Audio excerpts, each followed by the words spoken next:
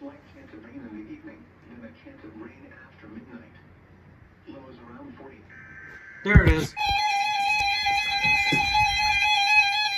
Oh, required weekly test.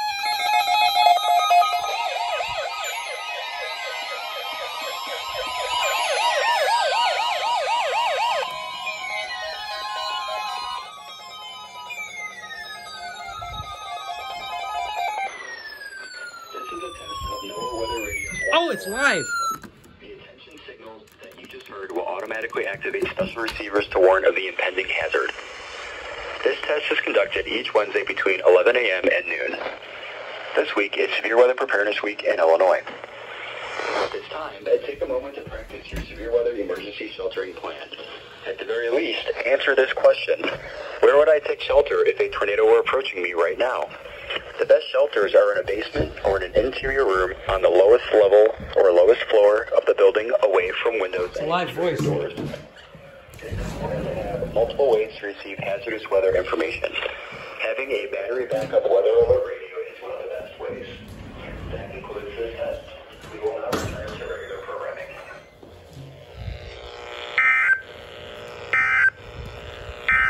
You are listening to NOAA's Weather Radio, KZZ 57 in Rockford, serving north central Illinois, including Rockford, Belvidere, and The sirens are gonna go off. I'm not 100% Current sure, time is 11:07 a.m. Central Standard but they Time. might. Now here is the hazardous weather outlook for portions of north central Illinois, northeast Illinois, and northwest Indiana for today and tonight. No hazardous weather is expected at this time. And now the extended outlook for the period Thursday through Tuesday. Mm, I don't know if they are or not. Huh. All right. Maybe they are because they did test them yesterday.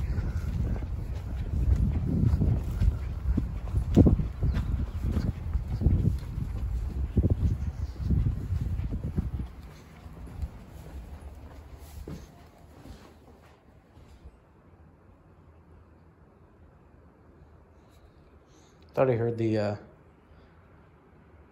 that might be the Winnebago County sirens. Boone County might be kind of late. Boone County is always late.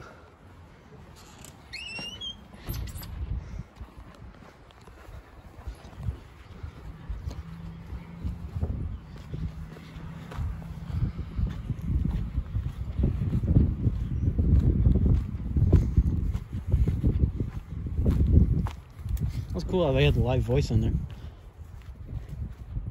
I thought I, I thought I heard the Winnebago County siren ones, but I guess not.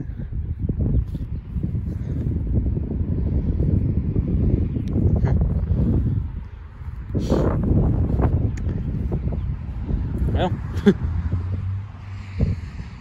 it is what it is. I'm gonna keep recording though, just in case they do.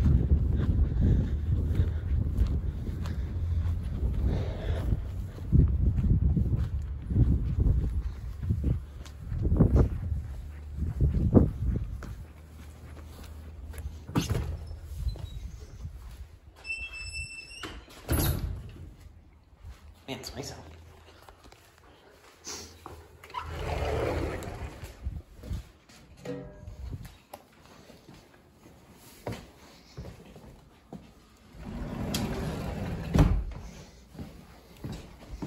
I don't know if they're testing the sirens or not. Can't tell. They haven't gone off yet, so I'm assuming they probably aren't. Because they did them yesterday. Hazardous weather outlook for portions of north central Illinois, northeast Illinois, and northwest Indiana for today and tonight. No hazardous weather is expected Yeah, yeah, yeah. time.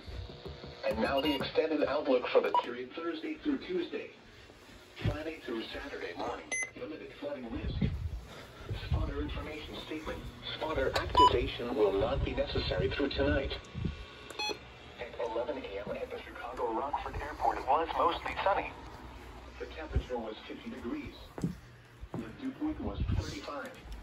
And the relative humidity was 56%.